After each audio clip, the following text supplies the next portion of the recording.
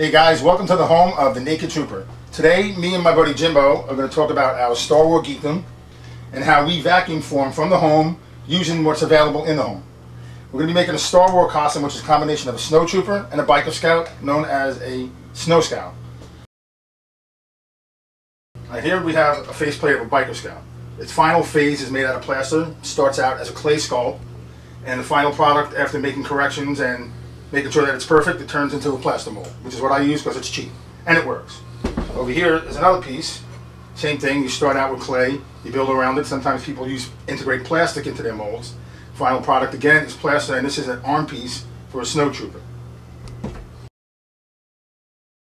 Now we'll talk about the vacuum forming stage and what it is conceived of. Obviously, vacuum forming starts with a vacuum. Here we have a 6.0 horsepower shop vac as my main power source for the vacuum. Then I run a hose to the bottom of a homemade table, vacuum forming table using pegboard as my surface. People like to call it a plating, but as you can see, it's been well used. This is what will suck the air out to form the molds. My heat source, because I'm so ghetto, is my oven.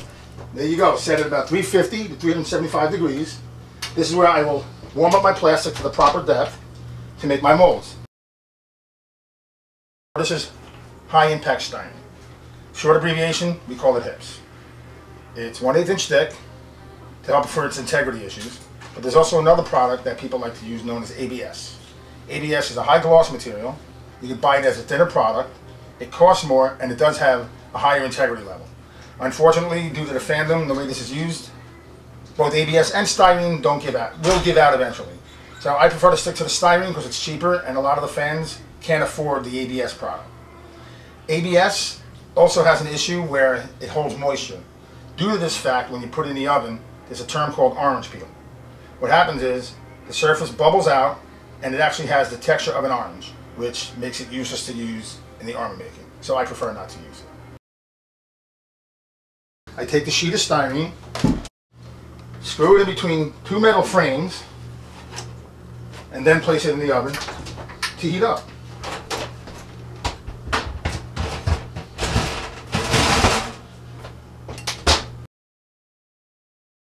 Now we're getting ready to remove the plastic from the oven. As you can see, it's got a nice sag going to it. I now take it, lower it over my molds, seal them in the edges. I have a button over here to hit down. On the count of three, two, one, you hit the button.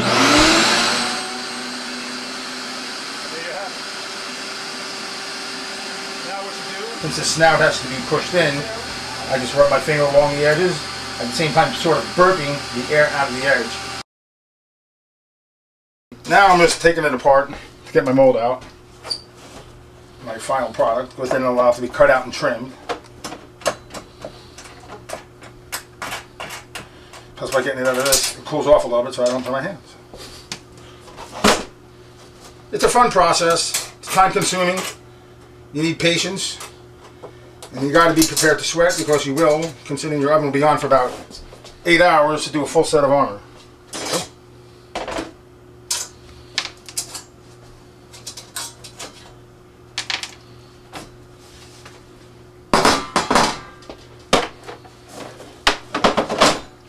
There's your finished pieces. Cool. Alright, now that the piece has been molded, I'm going to cut it out for the rough cut for finer detail later. Cut it out now while the plastic's still soft, makes your life a little easier. Because once the stuff hardens, it gets to be even more tedious than it was before. As you can see, with a little elbow grease, it breaks right out. No issues to the mold pieces.